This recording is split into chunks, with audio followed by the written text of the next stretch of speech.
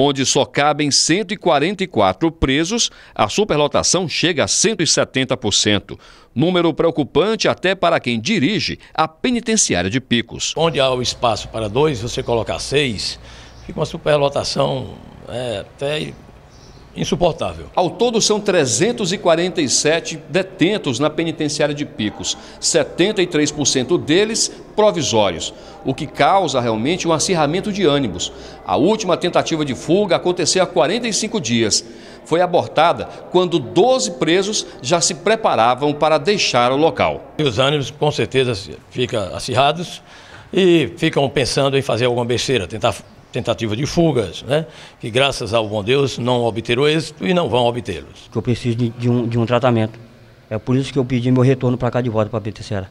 Ela correu, quando ela viu com a faca na mão, ela correu, correu prestando, pedindo socorro.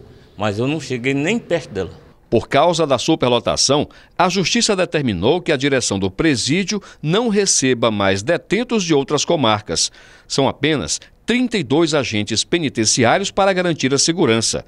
Desde 2012, há um pedido de interdição da penitenciária José de Deus Barros. Houve uma compreensão por parte do Poder Judiciário das comarcas vizinhas e estão encaminhando alguns detentos ao presídio de Floriano e São Raimundo Nonato.